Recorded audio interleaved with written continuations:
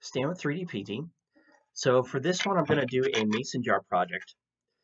And mason jars have always been an American classic for storing food or other products.